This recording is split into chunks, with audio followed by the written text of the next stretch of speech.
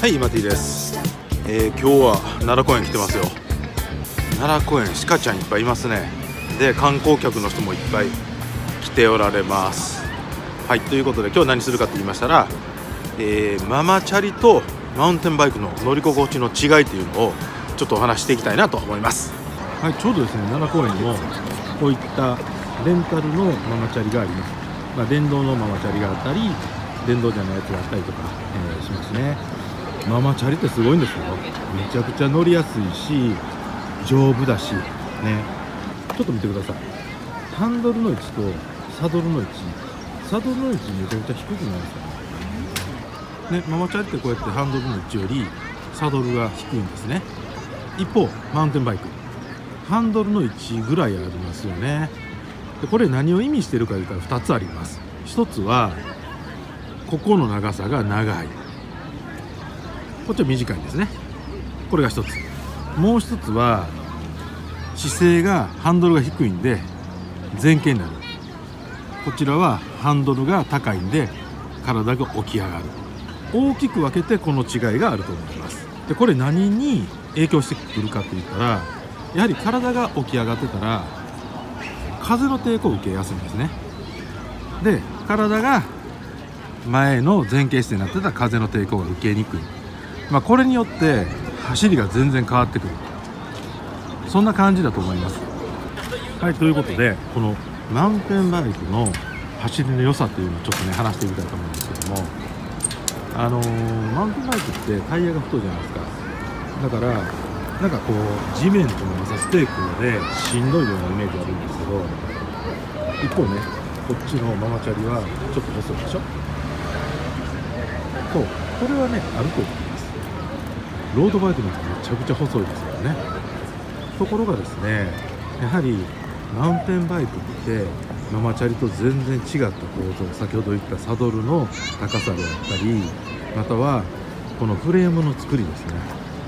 これでペダルが漕いだ時にどれだけ力が、えーボディを前に進める力が変わってくれるか。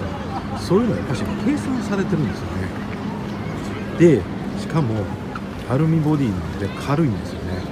例えばママチャリってこれは電動ですから特に重たいですけど普通のこういったママチャリでも20キロ弱ぐらいあるんですよ。18キロとか19キロ20キロぐらいあるんですね。でもこういったスポーツバイクっていうのは全般的に軽いです。このマウンテンバイクですら13キロぐらいですね。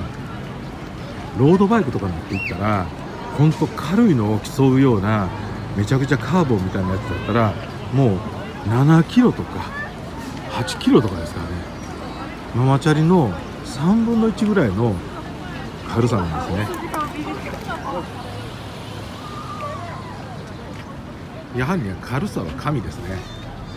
軽い方がこりやすいし前に進みやすいですね。なのでこのマウンテンバイクとかロードバイクのスポーツバイクを乗ったことない方、ママチャリしか乗ったことない方は一瞬でびっくりしますね。一瞬でなんじゃこの快適なスピードの良さはみたいな軽さはみたいな一瞬でビビると思います。でところが一方ですねママチャリのいいところはここがねシャッてなんだねシャッ。てなのでここまたぎやすいんですよ。なので何かあった時にこのサドルの高さも低いからピャッと降りやすいんですね。ところがこういうスポーツバイクはここがこれもちょっとね下がってますけどまっすぐだったりサドルが高いので何かあった時にね降りにくい。足がねつきにくいというのがあります。でここポイントでこれに乗ってたら一番ペダルが下になった時は結構足がピンと伸びるんですね。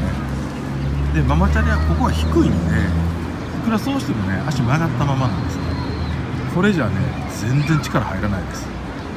かといってママチャリのサドルを上げていったら、えーサドルが短いんでねここが抜けちゃうんですね。でこうスポーツサドルが長いでしょ。この差があります。ということでもう乗った時の姿勢が全然違うんですね。